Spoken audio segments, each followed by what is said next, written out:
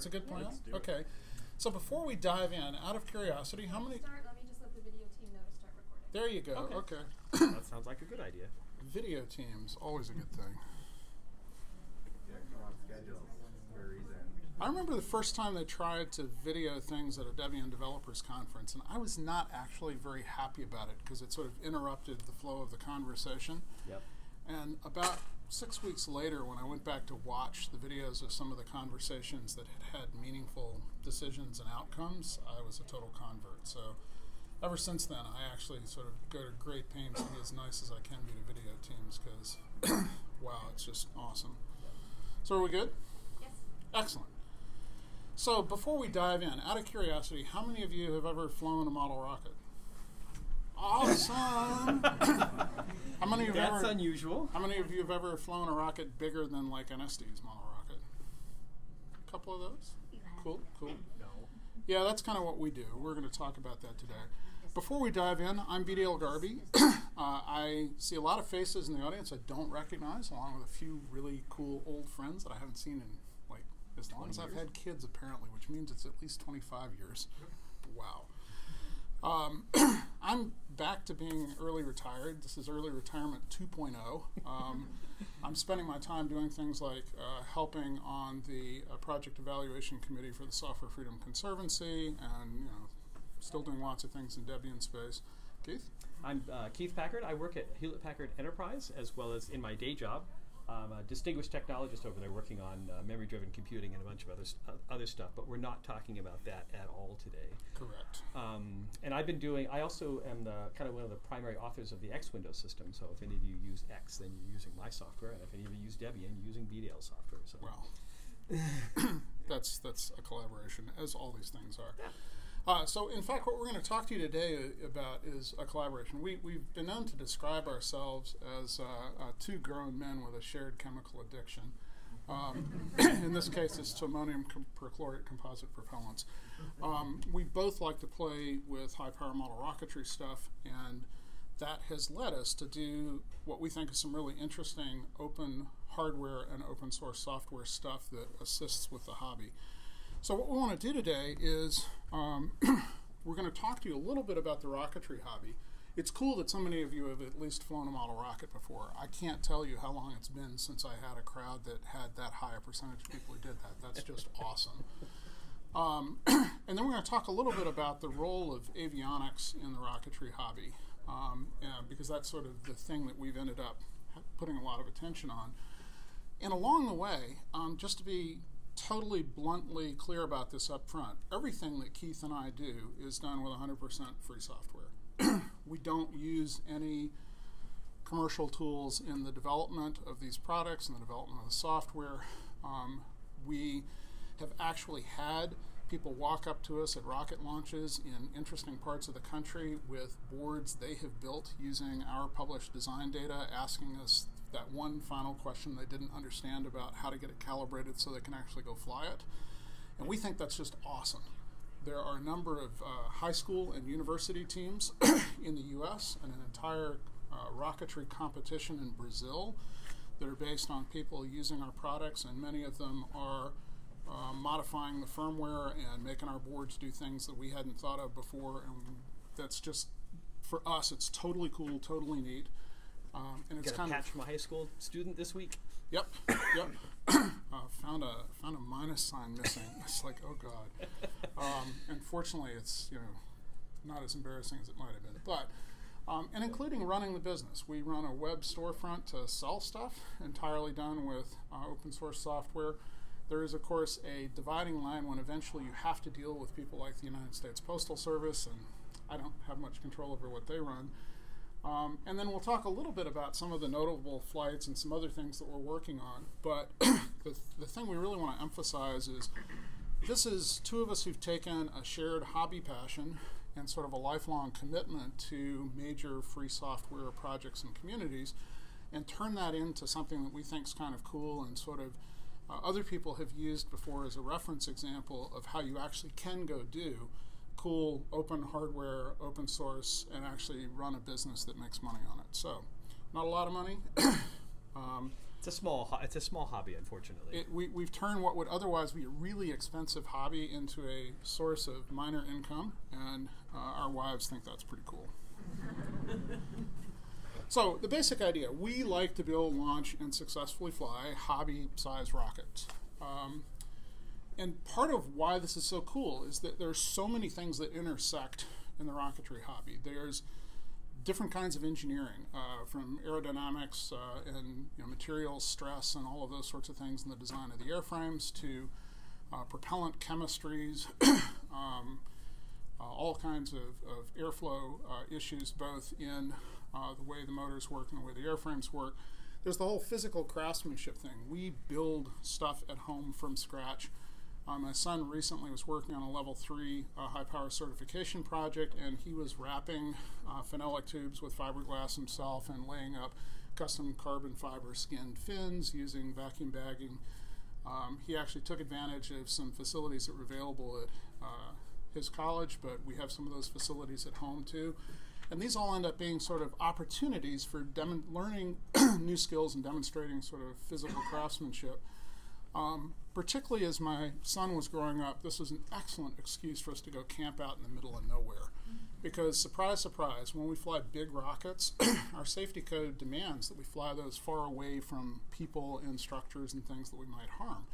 So we fly in places like the Pawnee National Grasslands in northeastern Colorado, or in the middle of a bunch of plowed wheat fields in southeastern Kansas, or middle of the, the, the back ends of uh, Washington and Oregon, out in Mansfield, or Mansfield, Washington, where there's in nothing. Brothers, Oregon, where it's like cat litter with sage everywhere. Um, it's but, places but- you would never go for any other reason. Well, the only other people we know that go to places like that are folks who do things like stargazing, who like to get away from city lights. And so, surprise, surprise, when it gets dark and we're not doing night launches, which are kind of a thing unto themselves, uh, there are often telescopes out and people, you know, hanging around doing that sort of thing as well.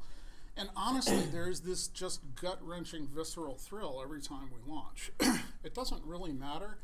The thrill sort of scales a little bit with the amount of motor propellant that we're burning. It's absolutely true that when somebody flies a really huge project that weighs a few hundred pounds on the rail, um, everyone's you know nervous energy is much higher than when we launch off a little Estes rocket on an A83. But we still actually stop and watch the Estes rockets launch because that is, in some ways, every bit as cool. And since Keith and I both have a really big interest in sort of passing along our enthusiasm for science and technology to more generations, hopefully more than just one, um, we really enjoy watching, particularly young folks getting involved in the hobby flying little stuff. And in fact, you know, these are some of the things that the kinds of things we're talking about. This was a, a, a family uh, group photo uh, that I took several years ago uh, of interest. This airframe over here with the yellow fin can and sort of crazy backwards fins, I think was the first rocket Keith ever built himself as opposed to mentoring students. Rocket Robert mentored me to build that. Yes, my son actually helped. The red one in the middle was my son's first sort of high power airframe. The one with the red nose, black band, and, and yellow was my first high power airframe. And lots of sort of Estes scale things. and uh, we had a heck of a lot of fun even when we were flying things at that sort of scale. Um, and that sort of you know leads us to this whole so okay how do we get to avionics? Well uh, first off i'll mention that that photo is of the first airframe i built to try and get a level 3 high power certification. I say tried because the only parts of that airframe i ever got back were the red parts. And um, there's a long story to that I won't bore you with today, but um, the reason I didn't get the rest back turned out to be a bug in the firmware of a commercially available flight computer or altimeter. And, um, uh, you know, long twisted path. Um, Keith and I now are the premier producers of stuff that actually works right in this market. okay, so uh, avionics, what's the point? Well, because we like to fly these things more than once, the most important thing is the ability to control deployment of recovery stuff. And by that I mean parachutes and streamers, that sort of thing. So that we can do things like at the top of the arc, at the apogee of the flight, we can have the airframe separate into a couple pieces that are tethered and maybe or maybe not have a drogue parachute attached to them. And then as they're descending and getting close to the ground, we'll have another pyrotechnic event that separates the airframe in another place and puts out a big parachute so that everything sets down gently um, and nothing's damaged. and we can go retrieve it. Um, flight data is always interesting. I think every kid who's ever launched an Estes rocket has wondered how high did that go? Well, we make boards that you can use. Uh, this is our smallest product, we'll talk a little bit about later. This weighs less than two grams, and so it, it's easy to toss in a payload bay of even like an Estes size rocket, and it will tell you to about a 10 or 20 centimeter accuracy what the altitude was that the airframe went to, which is pretty cool. Um, and you know other questions. Uh, when people start flying bigger things, one of the questions that often comes up is, "Gee, did I bust Mach with that flight? Did the airframe get going fast enough to go faster than the speed of sound?"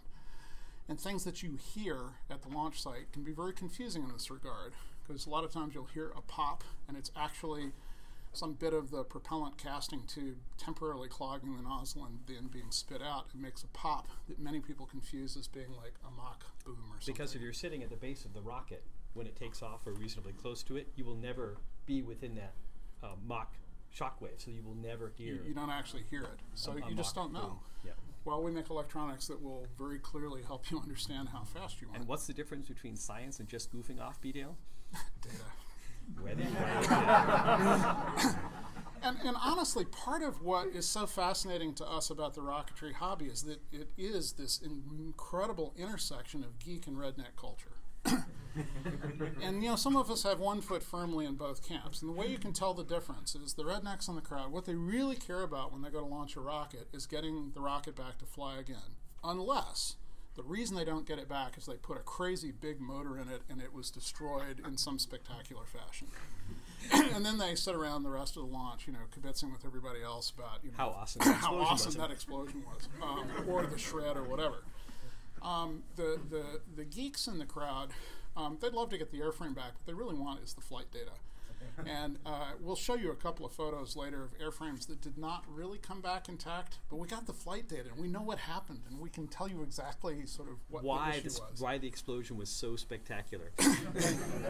And I will admit, there are people at our launches in our community of Rocketeers who sort of look at us and just shake their head when we're sitting around in the evening, you know, talking about minutiae of what happened during the flight.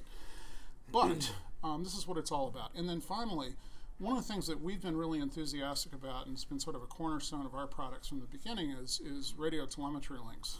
Um, and nowadays, most of our boards have GPS receivers on them, and the radio telemetry includes live information not only about how fast is the airframe going, how high it is, is it spinning or not, all of that kind of stuff, but exactly where is it. And that makes it really easy to go find them. Um, it turns recovering a rocket kind of into a geocaching experience, except that there's actually something cool to get when you get to the. Sorry. And you know, uh, way back when, as I said, even really simple flight data is fun. That's my son with his first sort of mid slash high power rocket. That must be, wow, that's got to be Eight? 2007. Yeah, something like it's like that. eight. It was his first quote unquote big rocket. And um, we had this tiny little board we bought from somebody else. There it is with a pencil, number two pencil tip for scale. It was basically just a barometric pressure sensor and a microcontroller, and it would record the barometric pressure through the flight and just keep track of what the peak altitude was, i.e., the lowest pressure. And then when you powered it off and back on, there was an LED at the bottom there that would just flash out, um, you know, sort of in how many flashes, uh, how high the thing went. And uh, it, it was amazing how that turned what had been a really fun hobby into a really cool sort of learning and discussion experience. Because now he could go get three different motors, you know, different performance characteristics, and fly them, and we could actually see the difference in the altitude that put the airframe to on the same day. And all of a sudden, we were having engineering conversations uh, over lunch instead of other things. And then, you know, as you move along, then you eventually get to where the motors that you're flying are bigger than the Estes rockets you started with. That's a, a baby L motor. Um, by the way, in those of you who've played with rockets, probably remember the Estes motor code where the letters are a rough doubling in the total thrust of the motor. So B motor is twice as much as an A, and a C is twice as much as a B. Um, that's a baby L. and uh, I have now flown, uh, I've flown an N. Yep. I've got an O Ns. flight coming up soon. And uh, yeah, we've both flown ins at this point, I guess. Uh, we have friends that have flown P's, Q's, R's, and one S that I know of.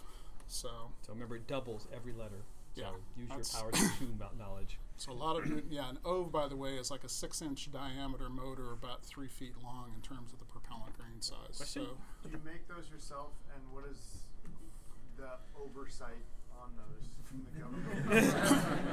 So, um, yeah, I can delve in that just briefly. We talk a little bit about the research motor stuff later, but um, most people who are flying in the rocketry hobby are using commercial motor reloads, where the uh, in that case, that uh, thing that I'm holding is an aluminum motor casing with a steel, you know, closure on the end of it.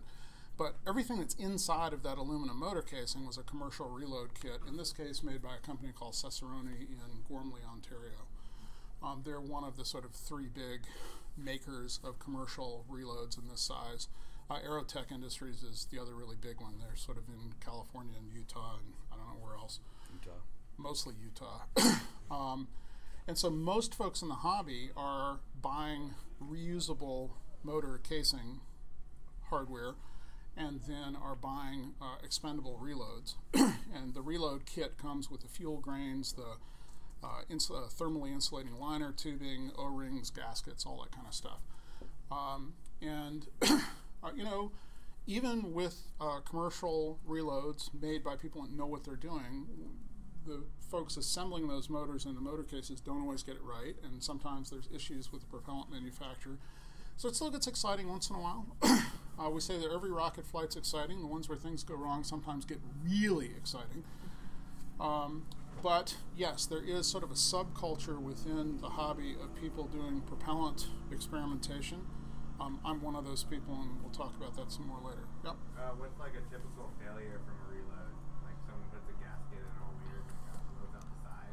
It ranges. Um, I saw a guy do a level two certification flight where he didn't understand that he had to put the reload inside the aluminum casing before he put it in the rocket. Oh, yeah, you got it. Then it's just like a. It was a reload kit that unfortunately was almost entirely ready. You really just had to slide into the case and thread it in, and you were done.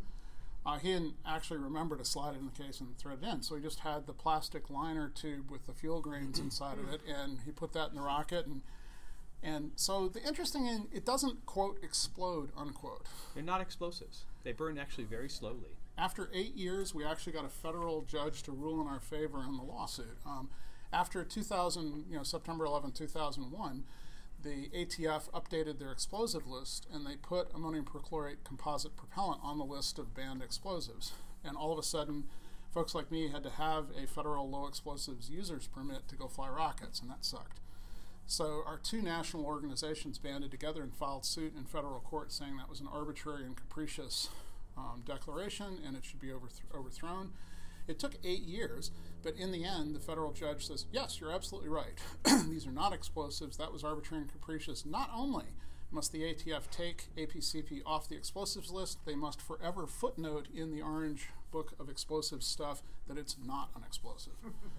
And so we won big time on that. But the reason is that unless it's contained, this stuff burns really slowly. I mean, it burns faster than a lot of things in this room. Not as fast as paper. My, yeah.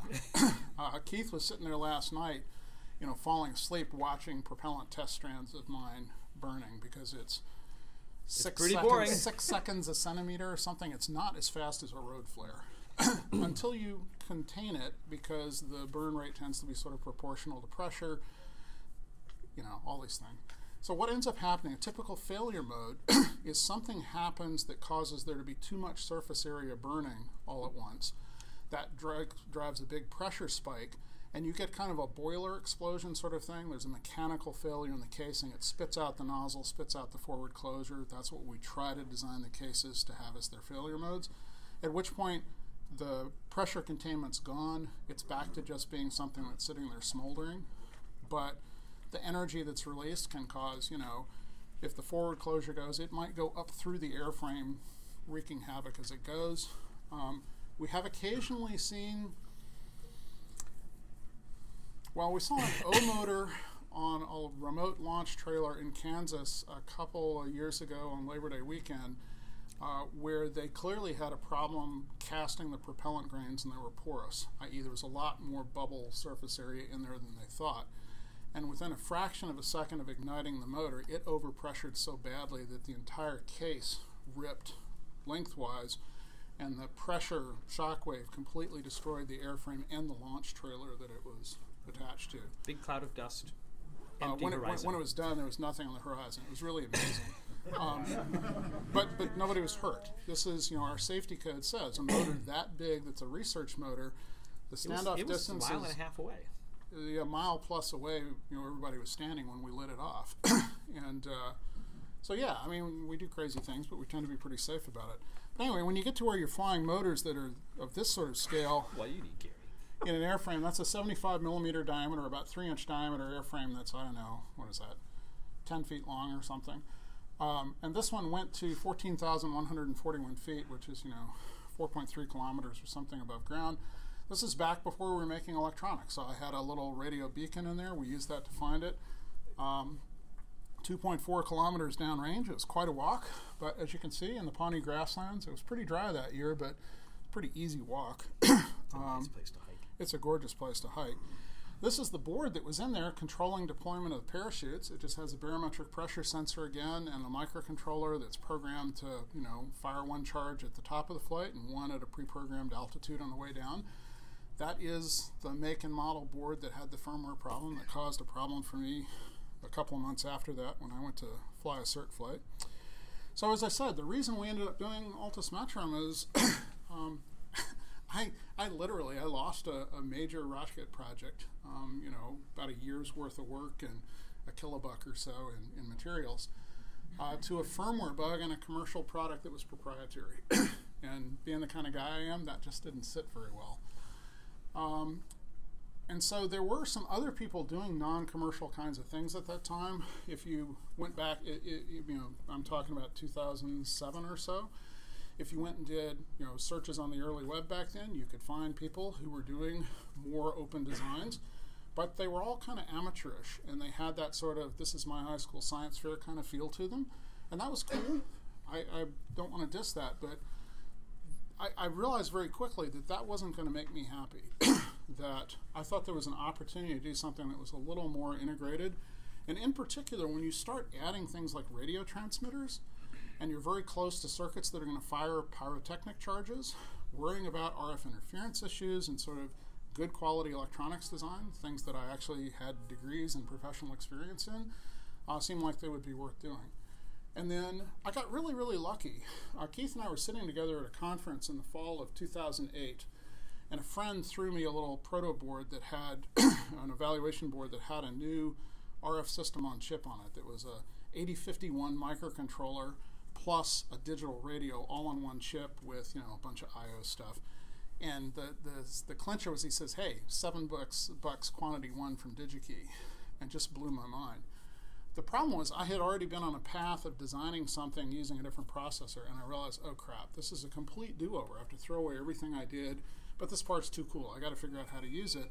And I was sitting there, sort of buried in, you know, that sort of designer's remorse of, oh crap, I have to throw everything away and start over. And Keith says, would you like some help? and uh, that's when we really sort of got involved in doing this stuff together. So you want to talk a little bit about these things, Keith? Sure. so, um, back in 2008, when we started doing this, we tried to figure out what we wanted to fly. One of the key, one of our key business objectives is we aren't going to build anything that we don't use, because if we don't use it, we're not interested. We're not going to be passionate enough about it to support it, and the design of it's not really going to be tuned for us. That really aligns with you know a lot of the businesses that Vito and I have worked in over the years, where the best products come out by the people who design them, who also use them We're passionate about it. passionate about them. So we do we do a bunch of different products. Um, uh, we, we make these tiny little altimeters for rocket competitions. Uh, we make um, we make uh, flight computers for high power rockets. This is a this is the newest one that, that Bdale let me design. I don't know why he let me design it. Oh, I did the RF end of it, but Um, actually, I ended up redoing it because it could, wasn't small enough. well, so we have no idea if it works or not. yeah, so it hasn't actually. This one, this is a prototype. It is not. Well, actually, No, that's a commercial unit. we, we've actually sold some, but I still haven't actually done RF performance testing on it. Would be nice Um, to know. Would be nice to know. Um, but yeah, I mean, this is the smallest one of the boards we do that actually has uh, radio radio telemetry on it. and it's what a half inch by an inch, Inch and a half. or so Yeah. long. Um, this one does not have GPS, but it does support two pyrotechnic channels, one for apogee, one for main parachute deploy on the way down, and has full live radio telemetry during the flight, along with radio direction finding afterwards. And this is actually based on an ARM microprocessor. So this has the smallest ARM that I've found. It's four millimeters square for a 32-bit processor. It's 40 milliwatt rate. I know. It's like, yeah, it's And awesome. about a 40 milliwatt radio. 40 milliwatt radio, half a megabyte of storage to store the flight data. I mean, a barometric sensor good to 30 kilometers. I mean, And we've ended up, one of the things we did when we got started is we took some of the experience I had building amateur radio satellite things, which we'll talk briefly about later, yep. and we applied that. So the, uh, the, the encoding and modulation scheme that we're using is actually really efficient. So uh, it's a 40 milliwatt transmitter, but it's using a forward error correction scheme that means that at 10 milliwatts, the math said 30 miles line of sight for an error-free link. And in fact, we had customers who did more than 10 mile terrestrial test paths, you know, hilltop to hilltop, and reported that they had bodacious amounts of extra signal available. All of our boards now are made with 40 milliwatt transmitters, and we have customers routinely flying well above 200,000 feet and just having no real No real radio problems. issues, and then we make things that are that have GPS chips on them because GPS is awesome. Uh, this one just gives you a little radio beacon, so it goes bleep bleep, and you have to use a radio that can tell you the the strength of that signal. Um, and then you try to figure out what direction it is. Uh, radio direction finding is, is a fun pastime. People there are people actually out there that do fox hunting, which is an amateur radio activity. Um, this is like fox hunting, except you don't act. Nobody knows where the target is. So you put it up in the air. Well, remember, I mean, your little Estes rockets, sometimes you lose those, in the sky and they may go a 1,000 feet. Imagine putting up something a 100,000 feet. It's only 10 feet long, it's a 100,000 feet away. You're not going to see it. So you have to have tracking. Um, and GPS, of course, gives us actual position. So all you do is you, you hook this up to your smartphone and it shows you where your rocket is on a map. it's like, how much easier is it that? Uh, we also make um, ones without radios because there are people who still don't have an amateur radio license, which I mystifies me. Um, but they, they need something that doesn't use an amateur radio. There are people that sell uh, rocket trackers that use uh, commercial bands and they use commercial radios. But those really suck for rocketry in a lot of ways. They're lower power because they have to be guaranteed not to interfere with anything, and they're always two way links which means that if the link ever gets broken because the distance is just marginal, then it takes a long time for it to resynchronize and you may never get the data back. By using a unidirectional telemetry link, we can have multiple receivers. We can have, uh, we can eventually get out to the thing, you know, t- 20 miles away and eventually find it, or somebody else can come and find it. You can use a regular commercial radio to find it. So we get a lot of additional abilities, but we can only do that because we're, we're flying under the amateur radio uh, scheme, which is you know, it's uh, uh, it's really closely aligned with um, the open hardware movement because it allows you to do things on your own without asking the government's permission. So if you want to go do radio stuff, which is really awesome, you need to just go get an amateur radio license. You can use the 900 megahertz band. You can use the 2.4 gigahertz band. Uh, we use the 70 centimeter band, which is quite a bit lower, so we get better range. 435 megahertz. give or take. 435 megahertz. So you can use all the cool bands that we've used for non-commercial stuff, but you can use higher power. You can build your own radios. You don't have to use a modulation scheme that's been approved by some f- uh, federal board as, as not interfering with your television set because you're in the middle of nowhere. Who cares? So the first flight computer that we ever built, this is like a recent version of it, was called TeleMetrum. Um, my daughter gives me crap all the time about my bad Latin, but the whole idea was you know, measuring at a distance. Um, and and so this board was loaded up with sensors. Uh, the version that we ship of it now, uh, ship now has a high G one-axis accelerometer, which can show you what the acceleration performance of the motor was. That's this part. Yep. Um, it's got a barometric pressure sensor that we use for getting altitude data. Um, and there's a GPS receiver, which is the big u-blox part. Um, the GPS antenna is this ceramic patch thing on the other side of the board, sort of in the middle of the biggest ground plane we could come up with. Uh, one of the challenges, actually, um, of being a really small manufacturer is that we have to pick things like those GPS antenna patches that are commercially available and already stocked by distributors somewhere.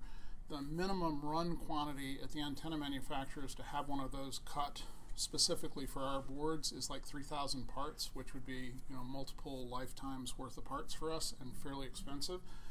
And so um, there's always this trade-off and compromise. It turns out for the RF folks in the room, um, this circuit board is too narrow to provide enough ground plane for the patch we really like to use on most of our products to actually tune well um, at the re- required frequency. So I end up having to use a less good antenna with lower gain just to get something that will actually tune appropriately on this board. Nonetheless, the GPS performance is way more than adequate on this board, and uh, you know, customers seem very happy with them.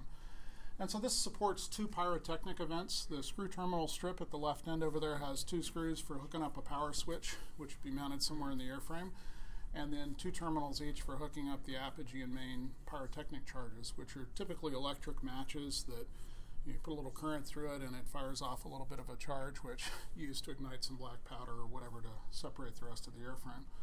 And there's other things this board can do, but that's really fundamentally what it's all about. There's a this end of the board, which is on the left end on the lower photo, is the digital radio with a whole bunch of tiny little passive components on there implementing the balun filters Huge and passive stuff. components.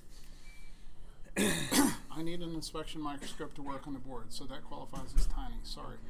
Um, and this board, by the way, is uh, one inch wide and two and two and a quarter, Quarter long, inches long. something like that Yeah.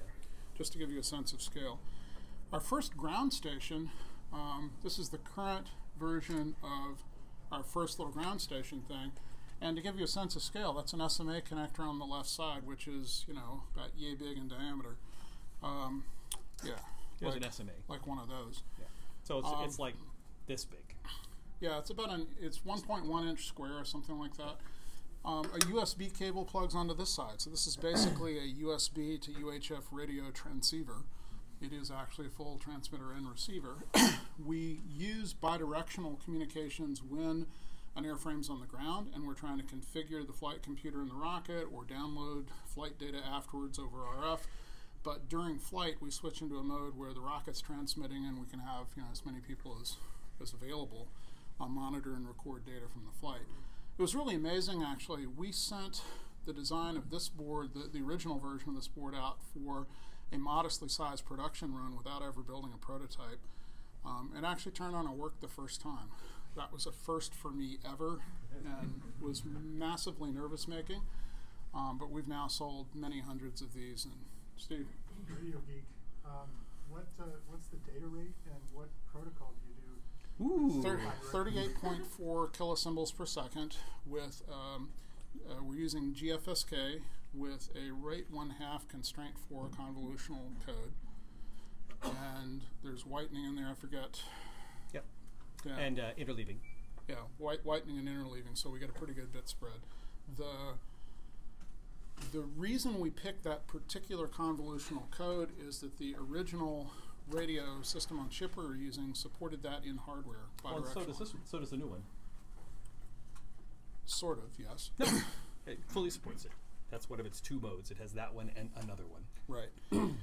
and so the experience I had playing with convolutional codes in satellite space caused me to understand that that would actually be really, really useful.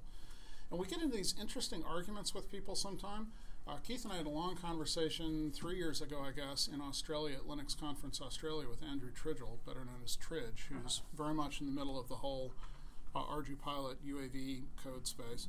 He's also one of the folks who's been involved in doing firmware for the um, open hardware design telemetry and telecommand radios that people use a lot in that space.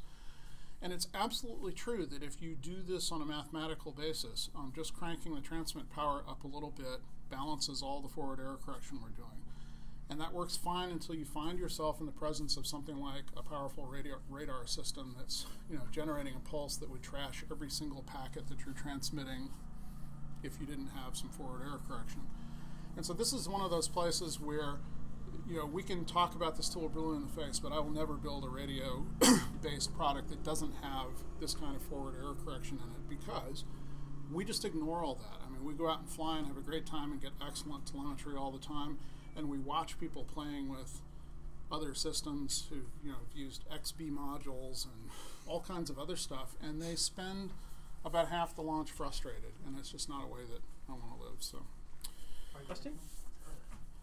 These are all bidirectional, except that we make a conscious decision that when an airframe flight computer detects that it's in on a pad waiting to launch, it switches into a unidirectional mode and just transmits because from an operational standpoint the ability to have lots of receivers tracking one thing in the air and the ability to rapidly recover because it's always you know sending stuff um, makes that the right choice during flight And just one minor point.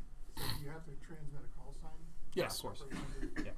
Of course. yep yep so Question? when Well, sorry, I just have a question about. Uh, I noticed you have mounting holes. Uh, how do people normally mount these in the payload? Do you have like a, a wooden plane that bisects the, the Yep. you attach things to that? Yep. either either wood or, or thin fiberglass, you know, G10 fiberglass sheets. Um, 16th inch fiberglass is pretty common. Uh, eighth inch plywood is pretty common. A lot of folks go nuts and use really high quality Baltic Baltic birch plywood for everything in their rockets, even when it's not necessary. Um, because I have a vacuum bagging set up at home based on a kitchen food saver that's really easy to use, I tend to buy cheap eighth inch plywood and actually put a layer of fiberglass on each side to tighten it up and that pretty hard to balance things? Uh, if you're putting a bunch of boards and batteries No. on Nope. both sides of it? the the, it- the the the rocket the, the rocket is so long compared to its diameter that shifting the weight sideways in the rocket doesn't matter. It's it's basically impossible to detect. It's it's stabilized aerodynamically much more than uh, much more than There, there, there are larger projects where that could be an issue, and in fact, we have a video on the laptop here of my successful second level three certification attempt. And what you notice is the mm-hmm. moment the motor burns out, it starts corkscrewing like crazy because it was in fact dynamically unstable. Right. The weight was not at all centered, and yeah, it just you know So you, you, you, you, it can be more efficient if you're very careful about balancing it. But in a long, skinny rocket, it hardly matters, and even in a short, fat one, it doesn't make it unsafe to fly. It just makes it it won't fly as high. So it's one of maybe maybe more exciting to watch. Who knows?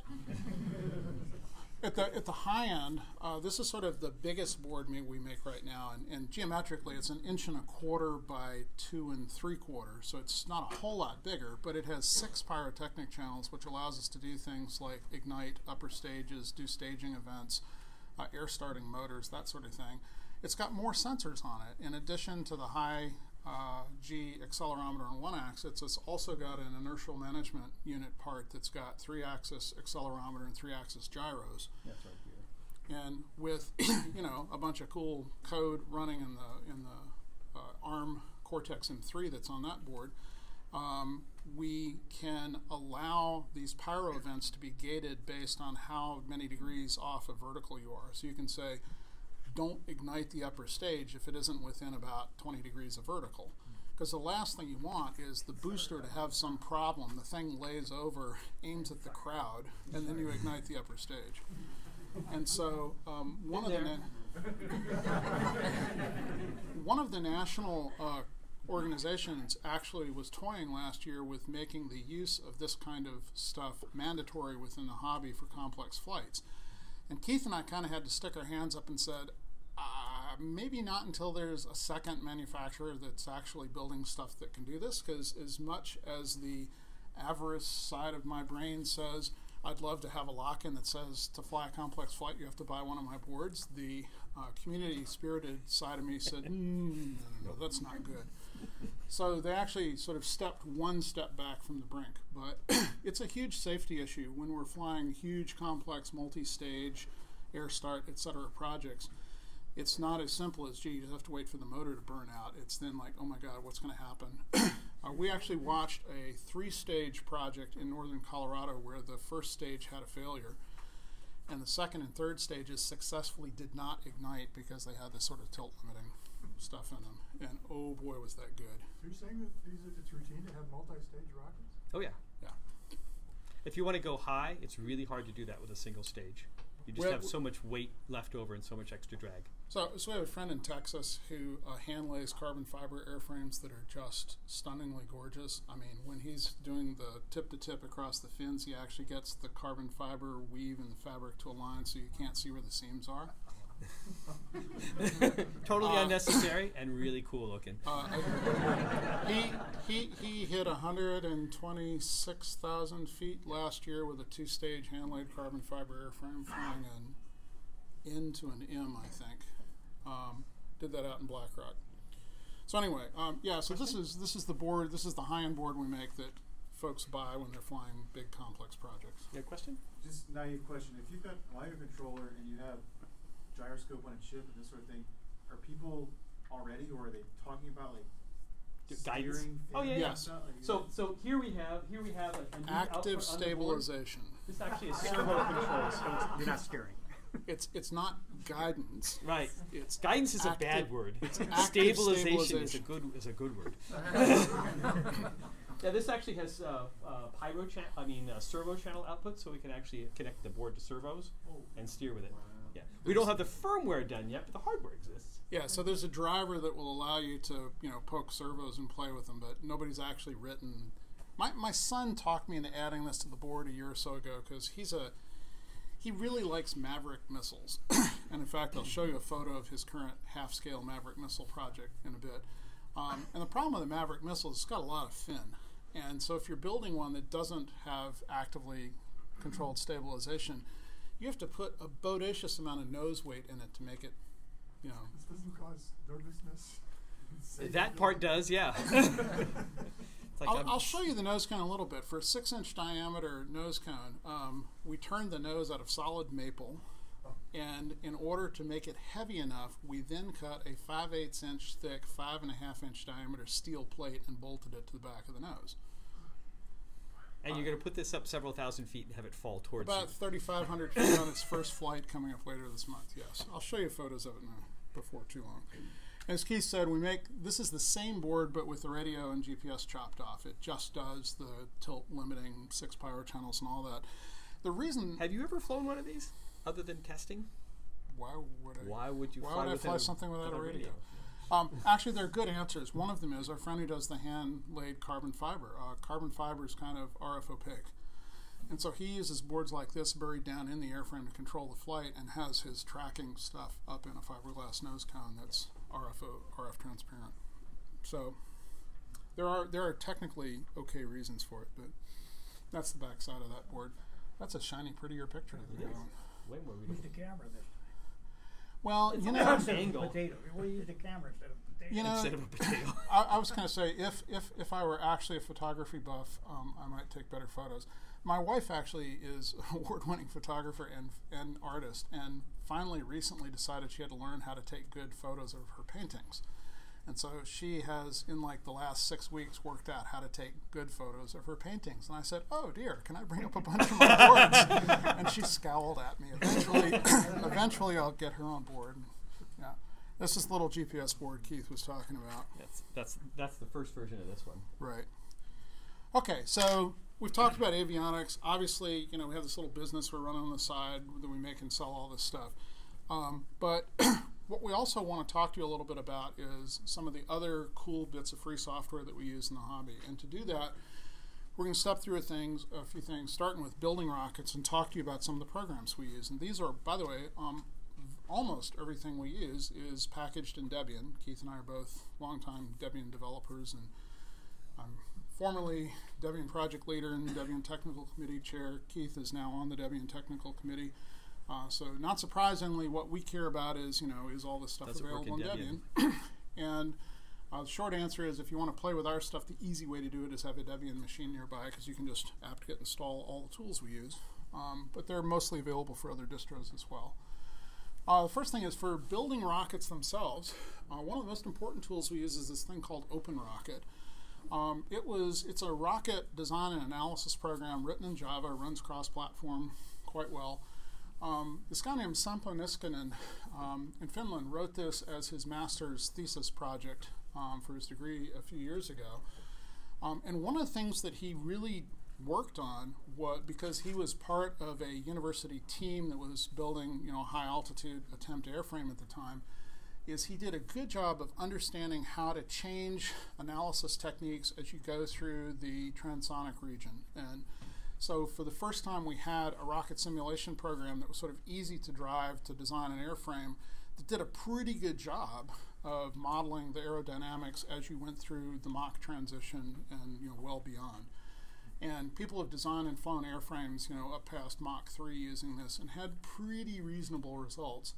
Um, it all gets a little squiggly when you get going fast enough that there just aren't a lot of flights out there for which we have data that we can compare to the simulations. And today there's still about a half dozen active contributors to this project. It's actively being worked on. I sit on the Devel mailing list, and uh, there's another release coming fairly soon. We'll show you a screenshot of that in a sec. Um, there are a bunch of tools that we've used over time to generate G-code for running computer control machine tools to cut parts like centering rings and fins and all this kind of stuff.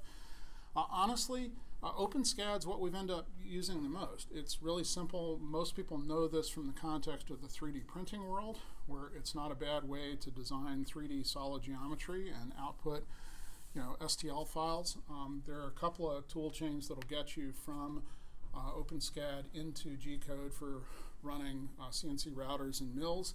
And uh, so that's actually become sort of our favorite environment for generating G-code for that sort of stuff. And to your question earlier about uh, research motors, there's a tool called MotorSim that I use quite a bit that is GPL Java. Uh, that is basically a propellant combustion simulation tool. Uh, it understands enough about um, how the um, combustion of different propellants work that you can design grain geometries, put them inside, um, you know, specifically designed uh, volumes representing motor cases and get plots of how that propellant's going to burn and therefore what the resulting pressures and thrusts will be uh, for given nozzle geometry.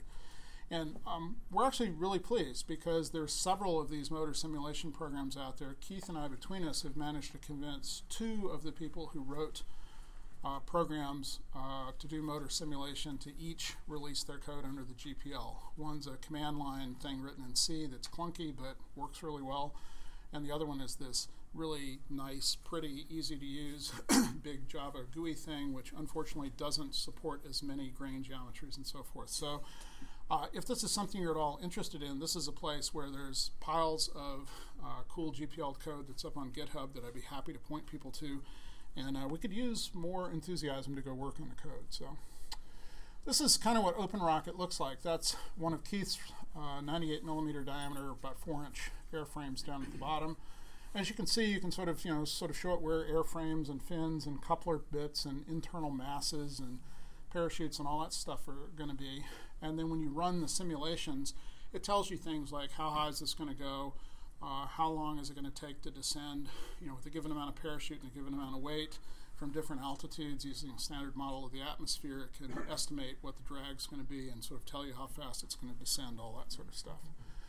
And you can export from the current version of OpenRocket things like um, 2D drawings of uh, fins and centering rings and things like that, so you can then go cut them. Um, my son is uh, a mechanical engineering student at Georgia Tech now, where apparently they have an unlimited license to SolidWorks and all of the available modules. And so, not surprisingly, he's all of a sudden, everything he does, he's talking about how cool SolidWorks is. Um, his level three project, he actually did stress analysis uh, of the frame design before building it um, just because he could. Um, and so it's entirely possible to use tools like that um, or FreeCAD, which has a fairly reasonable finite element module available as long as you don't mind figuring out how it works. Um, but it's surprising how many of us just use something like OpenRocket and go with the results. Yep. Uh, if you're a student like anywhere, you can get a full year of SolidWorks for $125, and that has like pretty much unlimited Yep. open. So it's really easy to get the software to use. Yep, Yep. The first one's free. Yeah. Yep. Yep. yep. Um, yeah. We talk about motor vendors in the rocketry hobby the same way. They they're, they're real good on samples and discounts for certification flights and things like that because they know they got you hooked. It's just like standing around, you know, school playgrounds. Yeah. It's it's all about chemical addiction. It's just. But anyway, OpenRocket's really cool, freely available, um, downloadable. There's you know it's a Java jar you can download and run on Windows or Mac or whatever. It's there's an installer package in Debian that I maintain. Uh, OpenSCAD, you know, there's a, a complex centering ring. That's one. You notice it's got some notches in it. That's so that the fins that are coming through the wall of the airframe can lock into the centering ring, which holds them uh, rigidly aligned. And those extra holes are for you know an extra set of motor mount tubes around the central one, so we can do air starts. uh, this is a ring that we did a while back when we were experimenting with the extra pyro channels on one of our boards. Because as Keith said, we like to actually fly the stuff that that we're selling. Uh, here's a CNC router cutting a ring, kind of like the one that was just there. This is very thick Baltic birch plywood, as you can see. We've laminated it so it's about an inch and a half thick. Uh, that was for a crazy project I wanted to go into more details on. But I will tell you that the CNC router is running Linux CNC. um, there is actually no proprietary software anywhere in this process at all. Um, this is the nose cone for that six inch Maverick being cut. This is on a four axis CNC mill in my garage. Uh, unfortunately, uh, right now, this one is still running proprietary software, but all the pieces to convert it over to Linux CNC are in hand now, and my son is supposed to be arriving home from college today. So when I get back tomorrow night, one of the things we've already decided to work on this week is to get this converted over because he wants to spend the summer playing with CNC stuff. And he said, Dad, you're not going to make me use Mach 3, are you? And I said, Well, you know, if you're willing to help with the conversion, then anything could happen. Typical free software answer, right? You know, patches are accepted. Um, the resulting airframe is this. This is sitting on the floor. That's six inches in diameter and about five and a half, six feet long or something. Uh, its first flight will be coming later this month at the Tripoli, Colorado launch site in uh, Colorado. By the way, that launch site is awesome. The elevation at the launch rail is 8,800 feet above sea level. So everything goes a little bit higher there on the same amount of propellant because there's less air resistance. Um, this will fly on a K740 um, motor, which is a lot of motor. It's two inch diameter motor, about yay long, and uh, it should do 3,500 feet or so on its first flight. And you know, I'm sorry I didn't find a photo of the nose cone with the horribly huge steel plate uh, bolted to the back of it because it's kind of impressive. Uh, my wife does not like to try and pick up and move this airframe. It's fairly heavy and she's tiny. Uh, okay, so uh, motor and propellant research stuff. As I mentioned earlier, most flights in the hobby are done with commercial reload kits, but playing around with the chemistry and mechanical constructions of motors, it's almost a it's almost a separate hobby. But there are a bunch of folks that I know uh, that I hang out with now that are really into this. In fact, I'm having fun right now. I'm building a 12 inch diameter, 12 foot long airframe.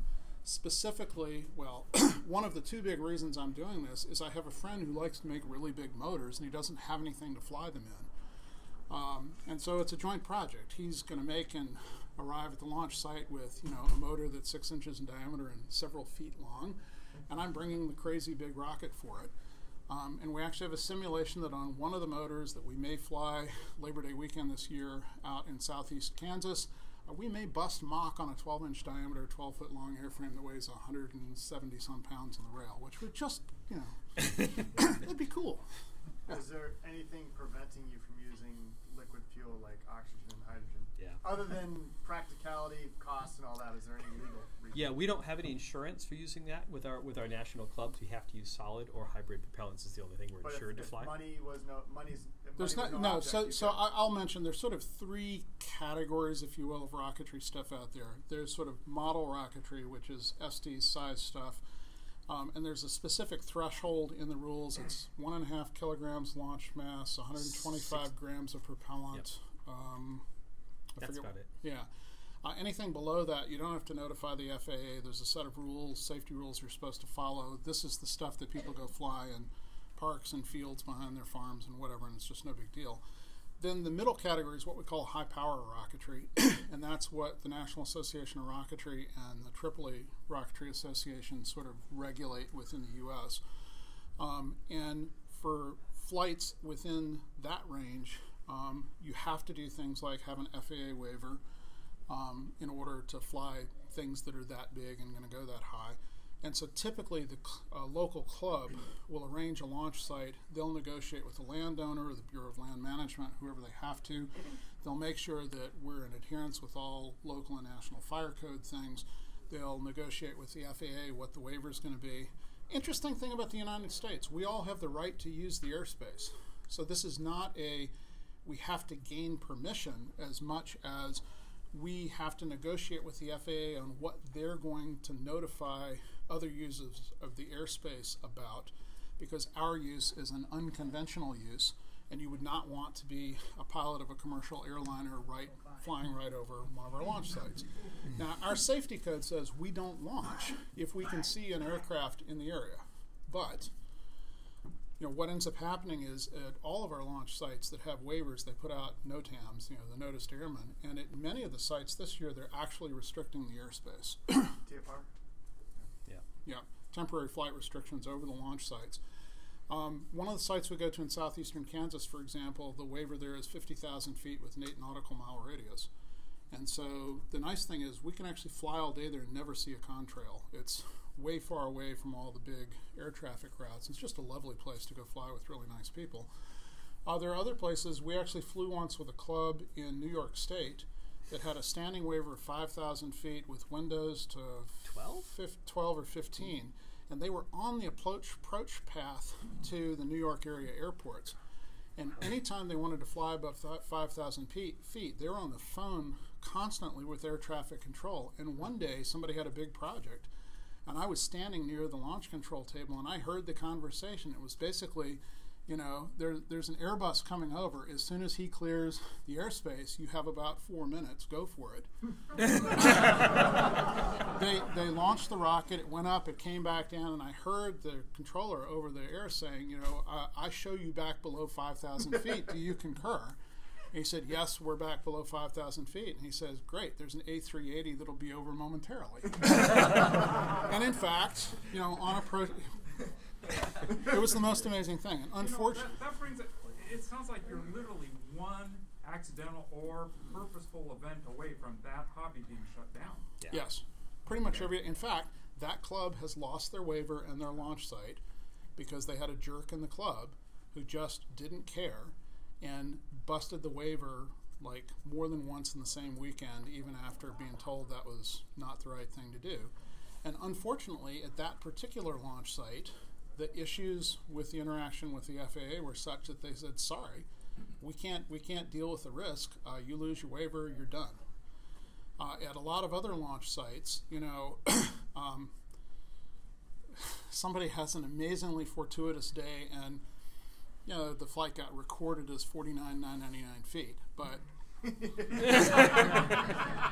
well, you know, the ejection event was programmed for 47,000 just to ensure it didn't bust the waiver and Not a lot of drag up not there. a lot of drag up there. The chutes didn't slow it down even. Well, whatever. and and and we've had we've had days where uh, the other interesting that thing that happens is Keith and I are producing boards now that have GPS receivers that are good enough that when we've got solid lock, we've got sort of GPS level accuracy showing the apogee.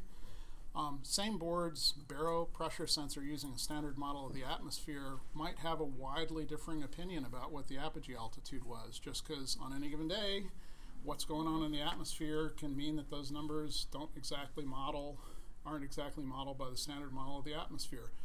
I've on the day thought that I had a perfectly legal inside the waiver flight until I got home and looked at the GPS data and went, Well, the cool thing is, Miguel, airplanes fly with the standard model of the atmosphere. they do. So if you are legal on the standard model of the atmosphere, you're fine. So at the end of the, and at the end of the day, it's not like in most cases the FAA is sitting there, you know, with you know, some kind of a threshold detector right at the edge of the waiver. But you know, this is an issue of federal law and federal regulation, and you don't want to screw things up for the rest of the folks in the hobby. Yeah. Um, what kind of restrictions do you run into when you use your GPS antennas since you're going very high and very fast? We don't go high enough or fast enough for it to be an issue. So the the, the, the COCOM restrictions that you're talking about are are if you fly over 1,500 nautical miles an hour and are above 60,000. 60,000 feet, then the GPS is supposed to lock out. It's rare for it. Uh, we, we do do that. Obviously, we go faster than that above that altitude, but only on the way up. What do you mean lock out? The GPS will actually stop you- telling you where it is. Why? It is- Because it they don't is- want to it use is it an for missile international legal requirement that commercial GPS receivers not be possible for bad guys to use to build missile guidance systems. It's a receive only system. What do you mean it locks you out? The, it's a It, re- st- it stops the the receiver stops giving you position navigation Oh, that's a solution. firmware issue. Yes. yeah, yeah, yeah. Oh, yeah, yeah. Yes. Oh, yeah. Yes. So if you hack the firmware, you Of course, have of Oh, course, yeah, of yeah, course, of of course. course. Yeah, yeah. But these are typically not open Yeah, yeah, yeah. That brings up a, another point. Is it presumably the GPSs you're buying are just a, a black box. Yeah. Ish. Yeah. Not, you're, you're just paying attention to the data stream. Yeah. Right. Yeah. Okay. So, but That's they, not but open. but because what we're mostly interested in is detecting the apogee, and being able to track it during descent, we're never going more than 1,500 knots at that time, and so we're never uh, we're never we're never above the COCOM limits. The other thing is that this is a very specifically chosen GPS module. There are two companies right now that make GPS receiver modules that have a quote unquote high dynamic mode because they're meant to be used in all sorts of you know private aviation applications and things like that. Um, and actually, the drone market has gotten interesting. Um, and so, you know, not surprisingly, put it in high dynamic mode. Despite that, uh, when our motors are burning and we're under you know significant acceleration, the GPS receiver is almost guaranteed to unlock because the um, algorithms they're using for tracking the signals coming from the satellites assume that you're not accelerating more than 4 Gs or so. And um, I've you know I've done well over 70 Gs off the rail before, so it's not it's not a routine thing, but it happens. So anyway, um, yeah, playing around with this, um, there is now free software for doing motor simulation. This is the one I've been using. Um, those are thrust and pressure. Uh, you know, the pressure that you get is sort of proportional to the surface area that's burning. The thrust is sort of proportional to the pressure uh, with the nozzle geometry characterized. For a given propellant, um, you can characterize what its burn rate is at different pressures. This particular propellant, which is sorbitol, has an interesting characteristic that there's this sort of plateau where if you're anywhere within that plateau, the burn rate just doesn't change. A lot of people therefore target that plateau for their operating pressure on the motor. Mm, Not me. I like more performance than that. So I'm usually up near the top of the curve there. But, um, you know, it's not exciting if it's not exciting, right? Uh, so here's some propellant grains that I was casting because I'm currently playing with uh, potassium nitrate and uh, alcohol sugars, which are diabetic sugar substitutes, as the fuel. Um, I'm actually casting grains by basically melting the sugar, mixing in the potassium nitrate, getting a nice mix, and then pouring the grains. Those are Delrin coring rods, um, which are easy to pull out afterwards. And then um, this is a typical test stand. Well, not so typical. This is a really good test stand. That's the motor up in the top of that pipe aimed down. So we're pushing against the earth, you know, to to, to It's just measure a what's really going on. big rocket. Yes, yes, When yes. you do the human, then you got a problem. Yeah. Yeah. Well, somebody will have a problem. I'm not sure I'll be around long enough. Um, uh, there's a there's a pressure sensing orifice at the front of the motor, so we actually have a pressure sensor, so we can measure the chamber pressure inside the motor casing. And there's a load cell in that test stand, so we can measure the force that's being applied. Um, and down on the left is a cute little grayish box with electronics that, surprise, surprise, Keith and I designed. This is actually a wireless uh, test stand control board that um, about three weeks ago I got the first ever test burns on the first prototype of it, and I've been sitting in the hotel room uh, here uh, writing the code to actually do the data analysis and plotting of the results. I'm thrilled that the first three motors we burnt on the stand I got really good pressure and thrust curves from. So uh, this is just working, and we're really happy, and this will probably end up being a product at some point. And who knows, maybe I'll sell 10. um, this is sort of a niche within a niche. Do you want to talk a little bit about the electronics design tools? Sure. Um, so when we started this project, I hadn't designed electronics since I was a child. Um, literally. I think the last uh, time I put uh, an integrated circuit in a circuit board myself was probably 1979 when I built an 1802 based computer. Um, and, and it's been really fun because um, because I've been uh, initially I got to watch Bdale play with these uh, design tools, um, and then he foolishly decided that I should I should also play be playing with these tools, um, and he let me uh, let me learn how to use them. We, we're using there are kind of two major sets of open source design tools available. There's the GEDA suite, um, and then there's KiCad, and KiCad's an integrated program that does everything: design and uh, both schematic capture and circuit board design. And within the GEDA suite, there's two main tools: the schematic editor and the PCB layout editor. Um, and you know, we talk about not being locked in, so you don't want to use uh, commercial software because you get locked into data formats. Well, even with free software between KiCad and GEDA, they don't quite yet speak compatible formats. There's work going on to make it. It's actually being worked on right Yeah. now to make it possible for them to exchange design data. but right now we're locked into this tool suite, and it's like I'd really like to go use this KiCad feature, and I can't because the tools don't share the same data file formats, which is And in annoying. particular, um, we have now a library of component data for all the parts we've ever used on a board, where the schematic symbols and the PCB, you know, and drawings, ordering data and everything is all that stuff. We have yeah. a data. We have a preferred parts database for Altus Metrum that has you know who we buy the parts from and you know what size reels they come on, all that sort of stuff. And uh, that would you know as everybody who's ever played around with electronic design automation tools knows, once you get invested in a tool chain, it would be hard to move. hard to move. The And good so- news is it's all free software, so you don't you don't have to like spend money to chase this Yeah. if you want. But so when I recommend for when I have new pe- new students coming in and asking me what tools they use, I say, well, there are these two. Um, and today, for new students who are just beginning electronics design, I usually recommend they use KiCad, even though I don't use it myself, which is a little odd. Um, and so here's a typical schematic capture. Uh, this is uh, this is the original Telemini, which is the first, the earlier version of this board, and you can see that it's it's really much much simpler. Um, it has just the single. Remember we talked about the CC1111 RF system on chip that has the CPU and the radio in it, and you can see here it's got it's got USB connectivity down here, and it's got a radio out the other end. It's got you know all the pyro channels connected to it over there. And so you design this. You know, if you've seen schematic diagrams in, in your life, um, then this is what they are generated from is a tool like this. Um, and and when you and when you take that schematic and then you can convert it into a PCB. And the interesting thing about the integration of the tools is the PCB tool uses the data from the schematic to know how things are wired. And so you have a you have a you have a component here, like a processor, and it has a set of pins. And the and the uh, the piece the uh, schematic capture program generates a net list, and the net list says connect pin one of this part to pin two of this part, and that's all it says. And so when you start the tool up, um, you can you can you've got all the pictures of your components that you've drawn by hand, and you stick them on the board, and then you push this button that says, "Okay, show me where all the wires are supposed to go," and it shows you this rat nest, and it's literally called a rat nest of of uh, of yellow lines that go all over the board. It's like, well, I want to connect this pin over here to this component. It's just a yellow line, or it's like you know this pin to this component over here.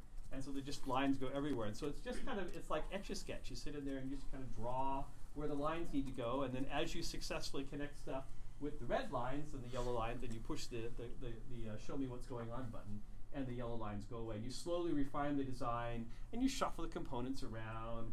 I mean, you go edit the sch- schematic because it was like, wow, that pin is really hard to reach, but I could swap it and use this other pin. So there's this back and forth between the schematic and the PCB, and eventually come up with a, a piece of artwork that's just a picture on the screen. But the awesome part about this is you can take that picture and send it off to a commercial board manufacturer, and you get back physical PC boards that look just like the picture, which is really cool. And it's worth mentioning there there are you know some of these tool chains have automation, you know, auto routers and stuff to help you route traces. Yep. But when you're laying down RF sections, for example, uh, they're not terribly useful because there are lots of rules that you want to adhere to, and this is where actual sort of electronics knowledge and experience has to be added to what the tool can do to come up with something that really, really works. And this is one of the things that's been kind of fun. You know, as Keith's been learning the tool, um, and in some ways, there's some parts of the tool he's actually gotten better at driving than I am. But um, I don't I- know what part that is. I I will end up staring at, at what he's done and going, uh, no, no, no, no, no, no, You no, need no, to no. rotate this inductor. It's going to mutually couple to the you know, whatever. Whatever. This And- trace isn't wide enough, or it needs to be straighter. It's like Keith, Keith, Keith. When this goes to manufacture, we're going to get a crack in the trace because. Because, and, yeah. yeah. and that's just learn. experience. Yeah, it's just experience. Yep. So then we actually hand build most of our prototypes. And you know, this is a, a stencil that's been cut out of, in this case, a Kapton sheet. And yeah, Does, does that previous tool, does that support duplex, like putting the components on other Yep. Oh, yeah, absolutely. Yep. Yeah. yeah. well, this this is actually this is actually a four-layer board with components No. on both sides. that one's a two-layer board. Oh, but it does Oh, support it is two four layers. layers. Yeah. Hmm? It does support four layers. Oh, as many layers as you It want. supports as many layers as you want. Yeah, Uh, we, we typically use four layers these days because it's just easier. This this is like yeah, Bdale like I, I, I, I not long ago for the amateur satellite crowd designed an eight layer board and Sanity in, uh, uh, came in before we actually went to build them. Yeah. Um, i.e., the board of directors went, no, no, no, no. There's so many elements of risk in this project. Let's do something simpler. Simpler, yeah. And it actually had nothing to do with my PCB design skills. It was the rest of the project that was nuts. But um, yeah, um, so yeah, we use uh, you know you use a solder paste which gets screened through the openings in the stencil uh, onto the blank circuit board, and then you sit there with an inspection microscope and a pair of tweezers and a bunch of parts and a laptop with the design tool running back in the background there so that you can see where you know which parts are supposed to go where. And you hand place all these parts under the microscope and you literally stick them in something like an electric skillet i've gone high tech now i have a little chinese made uh, infrared uh, oven uh, the microcontroller inside of which has had its stock firmware replaced with a free software project that works a hell of a lot better. And I've made hardware mods to it to improve the, the accuracy and behavior of the temperature sensors and to get rid of the Chinese made masking tape that catches fire and stinks and all that sort of stuff. Um, but yes, you know, this allows all of the solder to melt at once, all the parts reflow. There's this lovely thing that happens with tiny little surface mount resistors and capacitors and such, where the surface tension in the molten solder causes them to auto align on the pads. It sort of pulls them into place. Only, and if, so, only if you keep the pads separated. yes, Keith has this problem that he des- likes designing boards that are about this size, where the parts are so close together there isn't enough solder mask between the parts. And as a result, uh, even on the production run of these, there's one Component. capacitor that's always about 20 degrees off from aligned right. And, you know, we'll fix that in the next rev. Um, It's you know, already been updated in a few a few thousandths of extra space is all it would take. So Um, when you get this back from the manufacturer, it's pre-tinned for you and everything, or do you have to? The circuit boards? Yeah, they're either covered with gold Enig or ti- or tin. Yeah, depending upon what you ask for. Yeah, and that's and by the way, all these uh, a lot of our prototypes are on purple circuit boards. Those of you Anybody that play recognize the around, color? yeah, these are all from Osh Park, um, which I guess is in Portland. Yeah. Um, they they have a lovely service where you can upload files and some amount of time later for very little money you can get two and four layer boards back in units of three. Well, and the best part is when you design tiny circuit boards, the, mo- the money is the money is scaled by area. So these prototype boards cost like fifty cents each. Yeah. It's like a two-layer circuit board, you know, with precisions of you know thousandths of an inch for. They're they're aggregating lots of people's designs onto a panel. They're running maximum size panels, and then they're chopping the panels up and sending the boards out priority mail. It's just an amazing service. It's, it's overnight for me. The layouts too on their website. Yeah.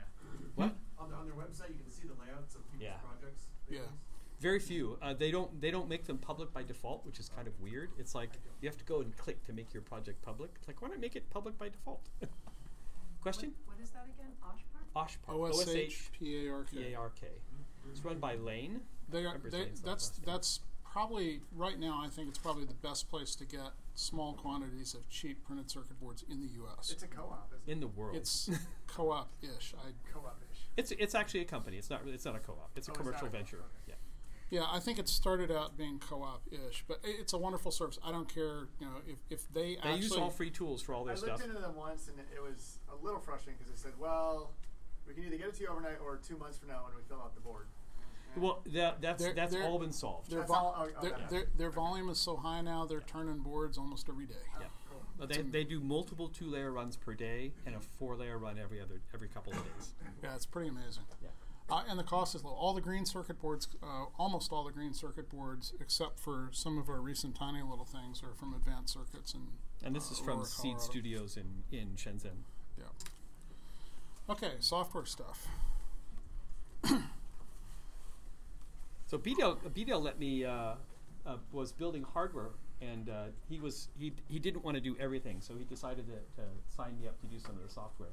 Um, I hadn't done hardware in a long time, so I said, well, this is as close as I'm going to get to doing really cool stuff. So I'll, I'll do the software part, which is the tedious and boring part of the project. Um, uh, so, so of course, the, the awesome part was I got to write an operating system. How many of you have written an operating system in the last couple of years? Yeah, isn't it fun? It's like, oh, you get to like ignore all the disasters that everybody else has ever done and create your own. exactly. Well, and it's been it's been it's been interesting. Um, so um, the nice thing about using uh, the microcontrollers that we do is they all, all of them except the AVR, which was a, a largely abandoned, provide source level debugging for an embedded microcontroller. And these, these are all ARMs now, but even the 8051s, I wrote a uh, I wrote an embedded debugger for that, uh, source level debugger for that. So I had source level debugging for embedded computing. And, and if anybody's ever done embedded AVR computing with Arduinos and doesn't have that, they, they don't know, they don't understand how it actually works in the real world. Nobody in the real world would ever use a microcontroller you didn't have source level, source level debugging for. Um, so the operating system I wrote is all written in C. It's co- uh, cooperatively multitasking. Um, I thought about doing preemptive multitasking, and I was like, wait a minute, I'm writing a real-time system.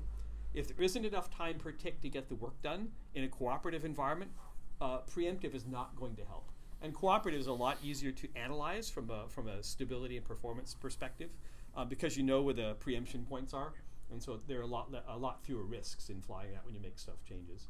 Uh, the flight progress uh, of the firmware is actually kind of tracked through multiple stages. Like, okay, first you're on the pad, and then you light the motor and you're boosting, and then the motor burns out and you're coasting, and then the, then you get to apogee, and then, then you're in, then you're in drogue state as you're uh, floating down, and then the, you get to the main altitude, and then you're in main state, and then eventually the, the rocket stops moving and you've landed. So we tell the user through the telemetry system, oh, the rocket is boosting right now, and then we detect through the accelerometer, oh, the ro- rocket motor has burned out, we're coasting now.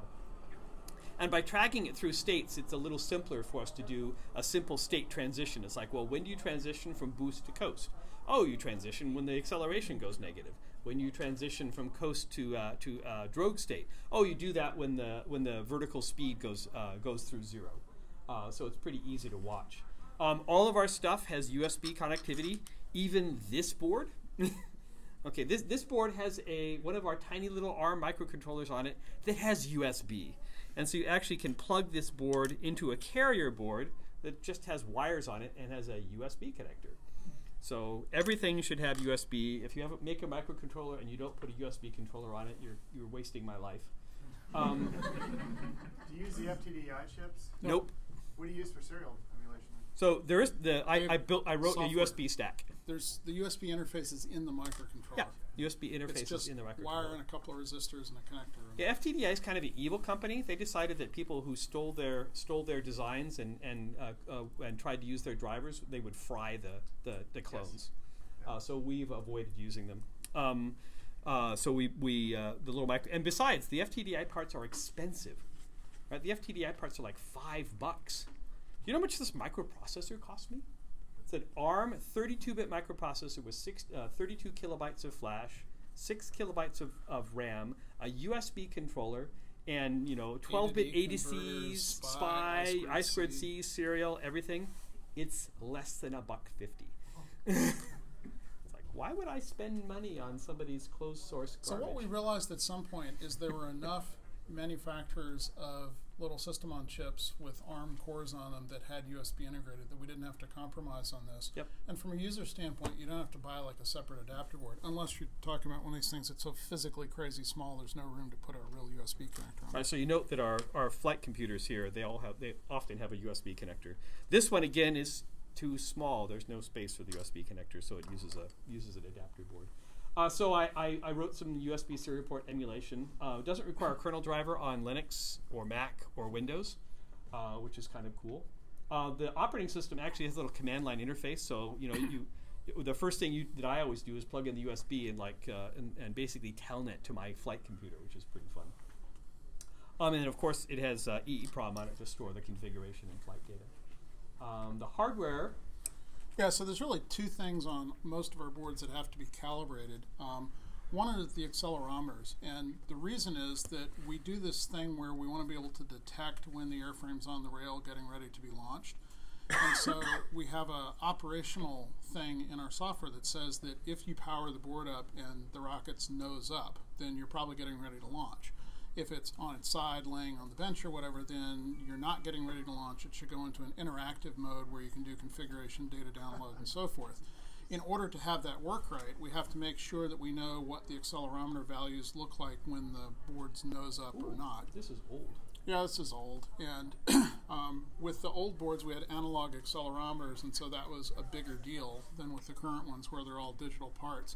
But we still do an accelerometer calibration on the bench because we have this lovely 1G field we're sitting in. It's easy to get plus and minus 1G numbers. And then the other thing is that um, because we have radios, um, there are crystals for setting the frequency on those radios, and the crystals that we buy are you know lovely, stable crystals, but their accuracy is a little dicey.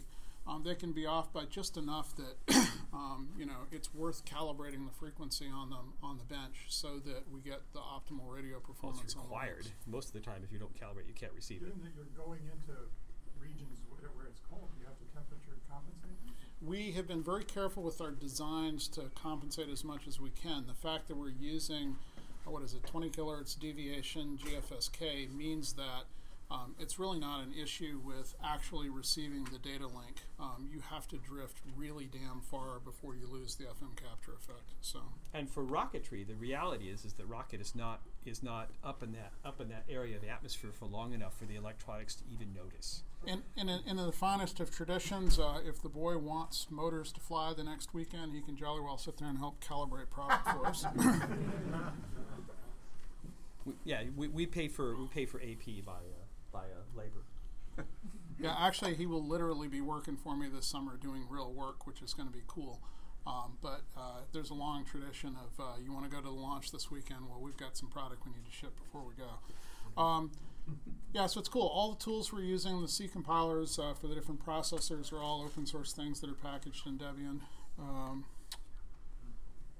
one of the things that we think is really cool is doing all of the software builds on a Debian system. We actually have everything available that we need to build um, executables and installer images for Windows and Mac OS and uh, generic Linux and Android, uh, all available on Debian. So we build all of this stuff out of one product source code tree, and we have a release process where it's sort of one top level make, and kaboom, a whole bunch of deliverables fall out at the bottom that you know we push one more button and they're shoved up to our website and we've done a software release. So um, cross platform all of this stuff it's really pretty cool. And i mentioned android. Um, one of our ground stations now uh, is this variant that has a bluetooth module on it. And so um, it converts from the uhf downlink from the flight computers into something that you can stand there with your phone and because all of our ground station software on the laptops and on the phone does voice synthesis of the telemetry during flight, you can actually be watching the rocket and listening to, you know, it's now in coast and it's at this elevation and it's at this position downrange and all that sort of stuff. It's pretty fast. Um, Why would there be latency? well, I mean, there's, there's, I mean, clearly by the time it says what the speed is, it might have changed. But the interesting things are that you know while the airframe is descending, I can tell people what what apogee altitude we hit. It is of course a baro-derived apogee, and I can tell them how fast it went. You know, did that bus Mach three or not? I know that before the airframes hit the ground, um, which is kind of cool. Are you going to change voices at all? The On the on Android, it's programmable, of course. Okay. Yes. The voice is kind of interesting. We'll fix it.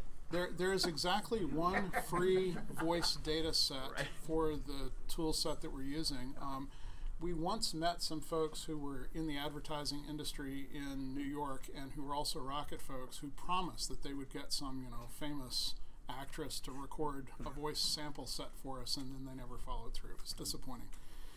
But, you know, stuff happens. Uh, maybe someday. Okay, so another thing that we'll spend just a minute or two on is that, you know, I mentioned earlier that we don't just use free software for designing and building the rockets and the electronics and all that. We're actually running the small business associated with the avionics entirely using free software stuff too. Uh, all of our accounting, for example, is being done using free software tools, Ledger CLI.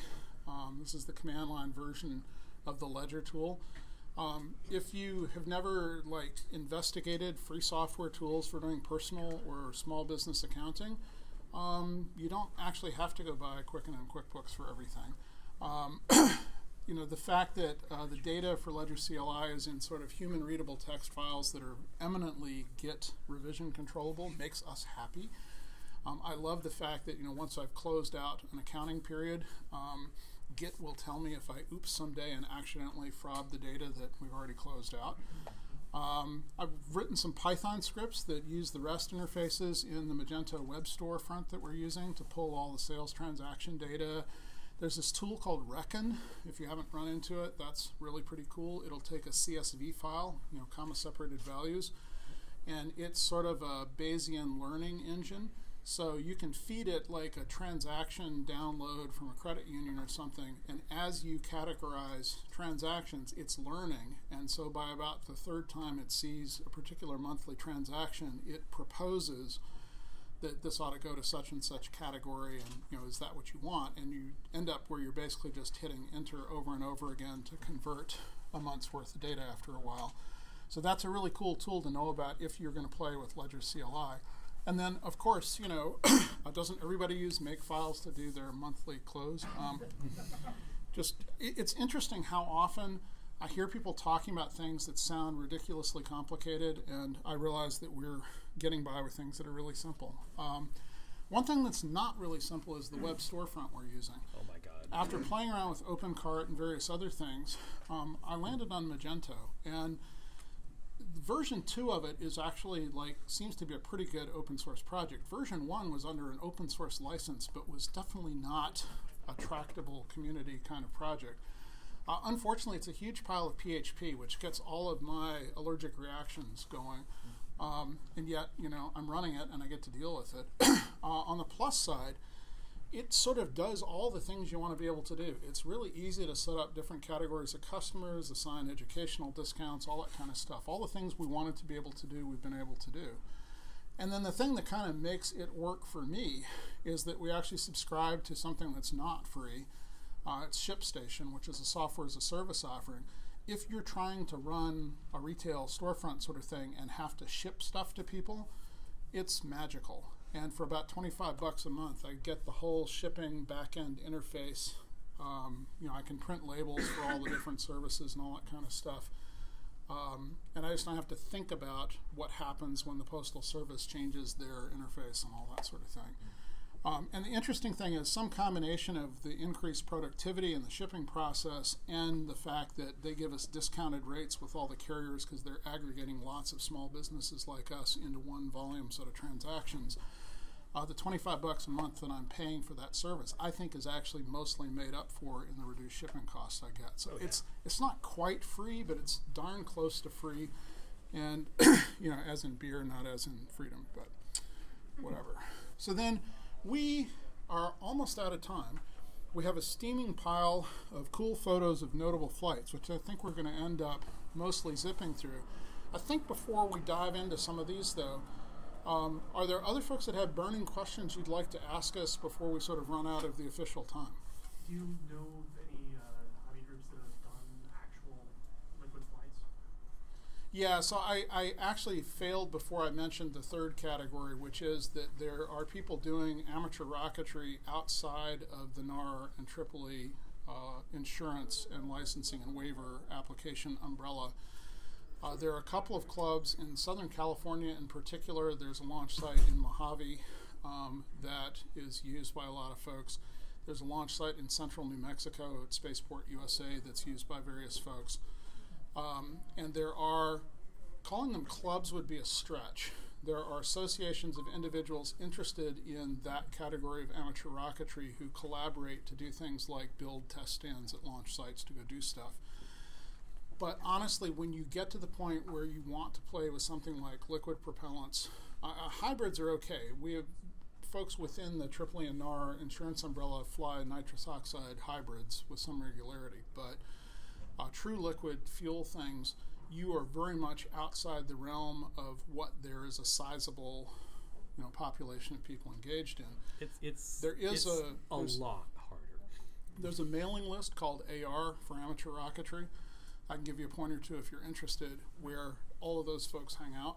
I'm on that mailing list. I will admit that on most days I just skim and keep going because they are arguing about you know what material to use for O-rings for the liquid oxygen tanks. I, just I maybe someday I'll care. I don't right now. Uh, you can you know you can have a heck of a lot of fun and you can get way above 100,000 feet and so forth with relatively straightforward, simple, safe to play with and use solids, and so it's hard to get too motivated. Unless, of course, your objective is. Uh, there are people I know who are playing in amateur rocketry who really do want to end up, you know, with startups going single stage to orbit and things like that. And more power to them. But that's at some point there's a threshold where it's like, is this really a hobby anymore? Yeah. Speaking of, is it a hobby anymore? Is there any amateurs that try to get to space? Yeah. Yes. Uh, rich amateurs. okay. How about, how about how about get into low Earth orbit? That's e- a way harder. And motor prices actually don't double with the letters. Well, not commercial ones, no. No. Yeah. So I mean, like your A is a buck, So- your B so- is two. So don't be fooled. I mean, uh, things like Spaceship One's flight was amazing, right? But there's a huge difference between getting to an altitude and getting to an altitude with speed. enough kinetic energy to actually go into orbit. Yeah, you have to be And- going Mach 15 to be in Leo, which means you have to get enough energy to get to 100 kilometers and then And- and still go be at Mach- forward and still be at Mach 15. 15. Instead of Spaceship One, of course, was going zero miles per hour at when it hit space.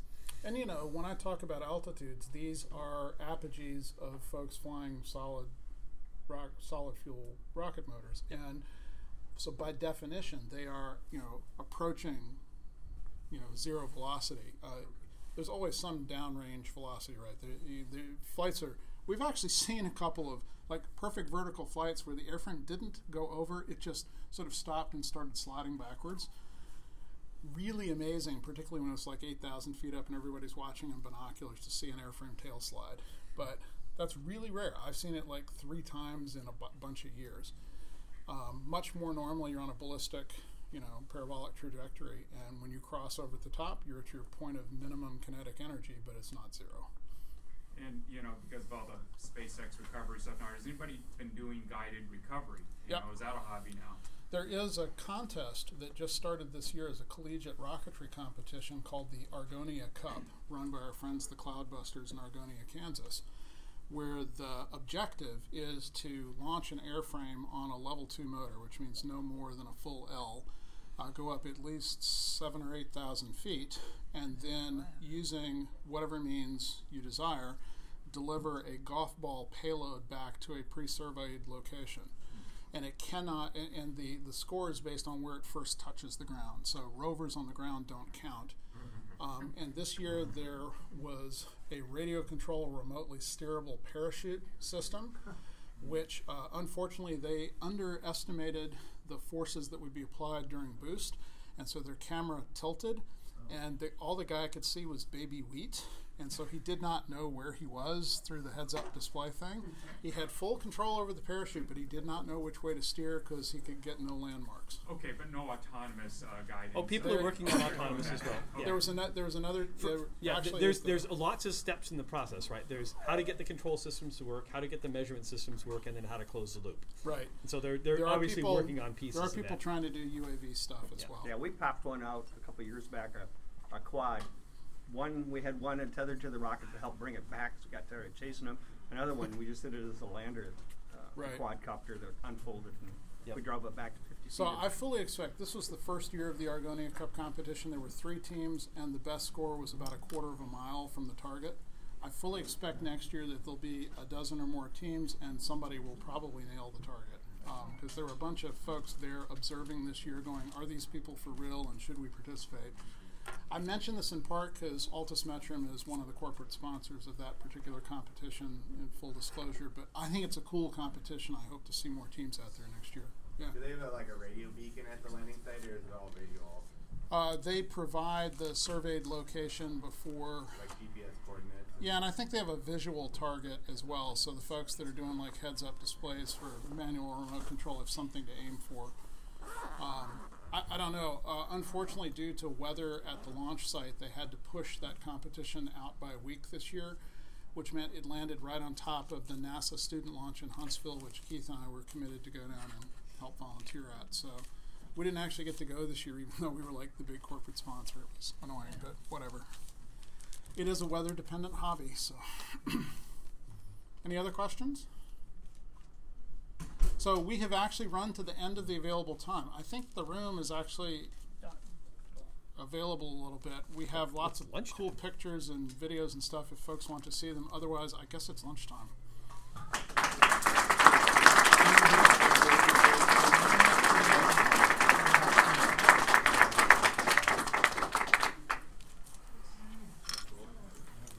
Yeah, so we can show off later or something. Good job, you guys.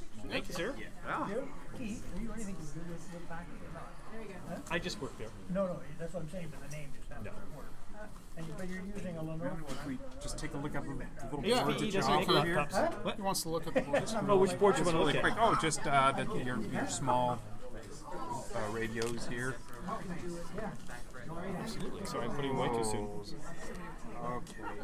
Really tight. That's what I was going to say. The connectors look like they'd add a lot of, you know, uh, They do add a lot of weight. They do, Yeah. and and, and I, we have flown them without to save the weight. Oh,